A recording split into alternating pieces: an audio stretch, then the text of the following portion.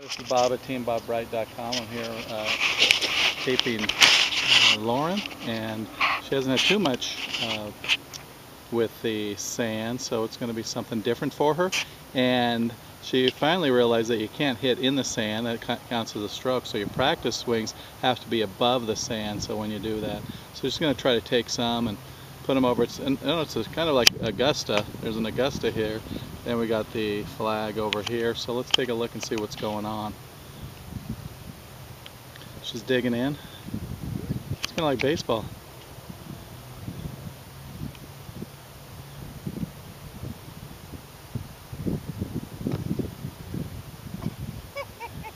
and it went up and it came back down.